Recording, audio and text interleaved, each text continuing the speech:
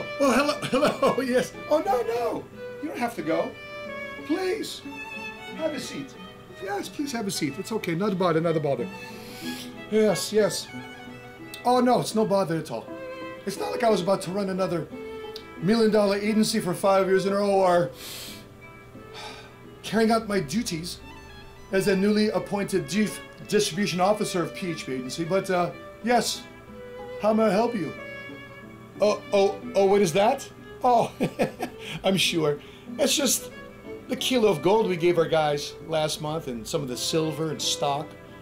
And, you know, the millions of commissions we paid to our agents just last month.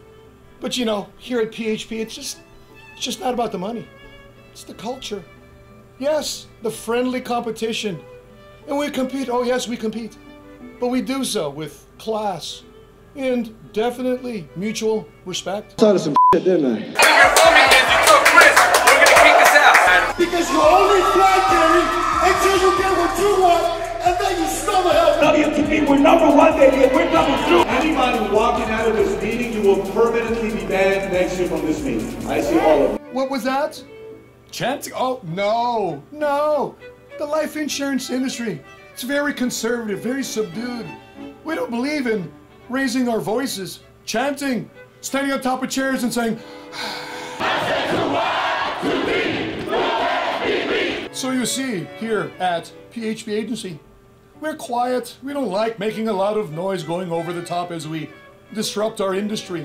I mean, in the past, we've had come to our convention Magic Johnson, Steve Wozniak, the late, great Kobe Bryant, President George W. Bush. We've even had Kevin Hart come by and say hello. Yes.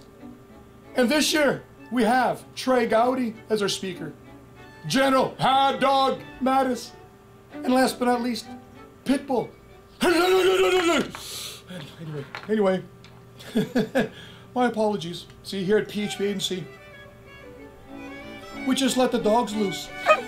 And this week, we begin our first ever virtual online convention. Yes, first time ever in our industry's history. Yes, 13,000 plus expected to attend online. So, with that being said, I'm excited and I look forward to seeing many of you there.